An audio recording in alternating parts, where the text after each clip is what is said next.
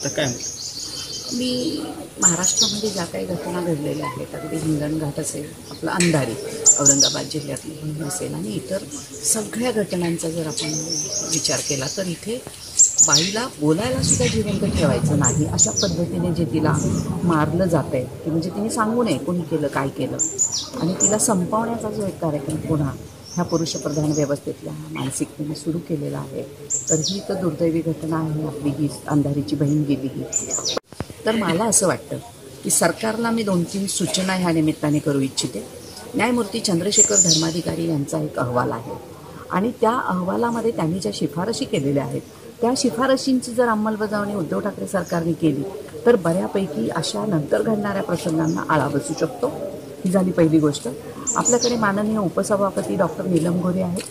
त्यांच्या अध्यक्षतेखाली राज्यातल्या सगळ्या पोलीस स्टेशनच्या ज्या सुरक्षा समित्या आहेत जे महिला बालकल्याणचे सुरक्षा अधिकारी आहेत आणि बाकीची सगळी सिस्टीम महिलांसाठी आम्ही काम करतो असं म्हणणारे आहेत. त्या सिस्टीमला एकदा एकत्र बोलून काही एक सुनावण्याची गरज असते.